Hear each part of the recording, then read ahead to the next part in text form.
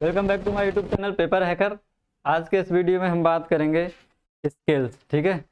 Scales पढ़ेंगे। Question number आपका जो है शॉर्ट आंसर टाइप क्वेश्चन थे, ठीक है? इनमें हमने, आपने पहला प्रोटोनिमा पढ़ा था इलेटर्स पढ़ा था इलेक्ट्रोस्पोर पढ़ा था और कूट इलेटर्स पढ़ा था, ठीक है? उसके बाद हमने क्या पढ़ा था? पेरिस्टोम पढ़ा था। तो आज हम बात करेंगे स्केल्स की, ठीक है? जो कि ब्रायोफाइटा के अंतर्गत आता है, ठीक है?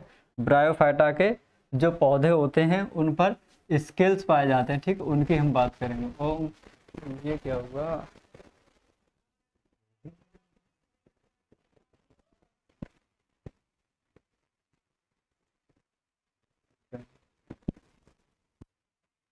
मैं यहाँ से चलूँगी चलूँगा। रेड कलर ठीक है?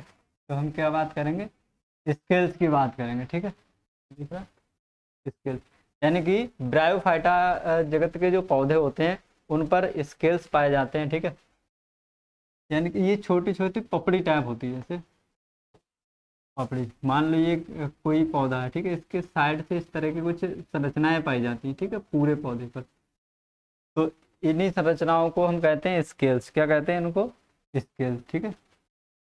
तो ठीक है। तो अब हम बात करेंगे कि जो ब्रायोफाइटा जगत के पौधे होते हैं, उन पर स्केल्स, उनका आकार क्या होता है और वो कैसे होते हैं। कह रहा है, स्केल्स अधिक, अधिकतर मर्केंशिया के सदस्यों में पाए जाते हैं। किसके? मर्केंशिया जो एक आपका जाति है, इसके सदस्यों में मोस्टली आपके स्केल्स देखने को मिलते हैं। ये शल्की हो सकते हैं। शल्की मतलब मुलायम, ठीक है? झिल्ली में, ऊपर से पे आपको झिल्ली मिल सकती है देखने को। एवं बहुकोशिकीय हो सकते हैं। कैसे होते हैं? झिल्ली में मुलायम और आपके ये कैसे होते हैं? बहुकोशिकीय ठीक है? मल्टी सेलुलर ठीक है? मेम्ब्रेनस एंड मल्टी सेलुलर होते हैं, ठीक है? क्या चीज़ आपके? स्केल्स की हम बात कर रहे हैं यहाँ पर, ठीक है? तो कैसे होंगे आपके? शल्की होंगे, झिल्ली में होंगे और कैसे होंगे आपके? बहुकोशिकीय तो यहाँ पर आपको कुछ स्ट्रक्चर दिखा दिए हुए हैं, ठीक है? ये किसके हैं आपके? स्केल्स के। जो कि मोस्टली स्केल किसमें पाए जाते हैं? मर्केंसिया के पौधों में देखने को मिलते हैं, ठीक है? तो यहाँ पर अगर हम इसकी बात करें तो ये आपको, आपके बिल्कुल जीव के समान, किसके समान? जीव के समान दिखाई दे रहा है, इसलिए इसको कहते हैं जीवाकार। क्या कहते हैं? जीवाकार, ठीक है? लिगुलेट। दूसरा होता है आपका अपेंडिकुलेट। क्या होता है?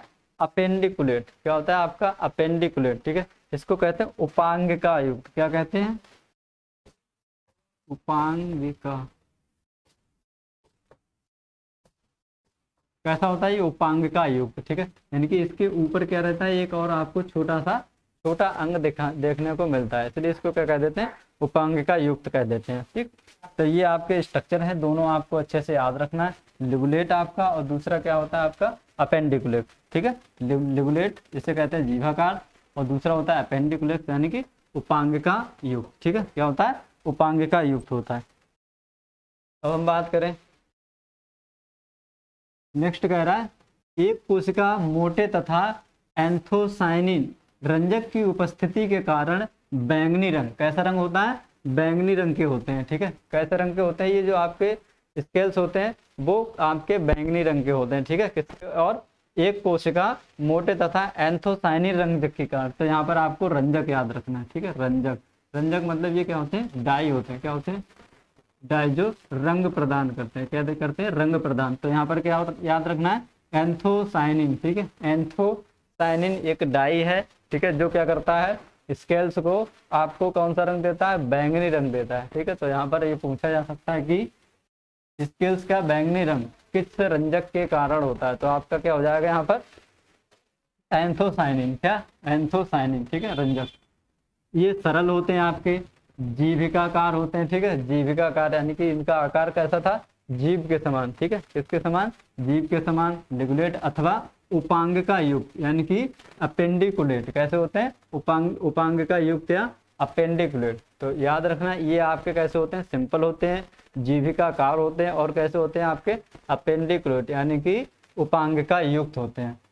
ये रिक्सी, रिक्सिया में अध्यक्ष सतह, यानी कि वेंट्रल सरफेस के उपांत तथा मर्केंशिया में आपके कहाँ पाए जाते हैं? अध्यक्ष सतह के मध्य शरा के दोनों ओर पंक्तियों में व्यवस्थित रहते हैं, ठीक है? तो आपके क्या पड़ा? रिक्सिया की अगर हम बात करें तो रिक्सिया में कहाँ पाए जाते हैं आपके? बेंट्रल सरफेस पर, ठीक है? कहाँ? बेंट्रल सरफेस पर पाए जाते हैं, ठीक है? और मर्केंशिया की बात करें तो मर्केंशिया में अभ्यक्ष सतह पर मध्य शिरा के दोनों ओर, दो पंक्तियों में व्यवस्थित रहते हैं, ठीक है? मध्य शिरा के दोनों ओर, इस तरह से दो पंक्तियों में ये आपके व्यवस्थित रहते हैं और कह रहा है इनका एंथोसिरोस एवं पेलिया में अभाव होता है। तो ये एंथोसिरोस और पेलिया में नहीं पाए जाते हैं, ठीक है? ये आपको लाइन याद रखनी है। ये वृद्धि बिंदु को सुरक्षा प्रदान करते हैं, जो आपका ग्रोथ पॉइंट होता है, उसको हेल्प करते हैं, ठीक है? प्रोटेक्ट करते हैं।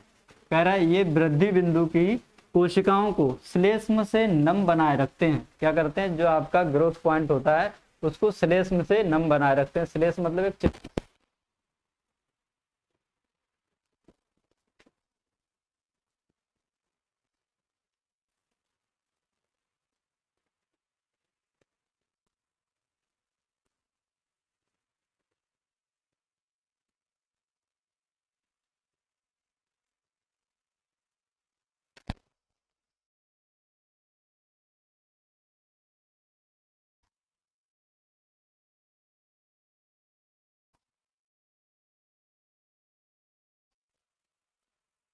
ज़्यादा नहीं है आपको शॉर्ट आंसर टाइप क्वेश्चन है।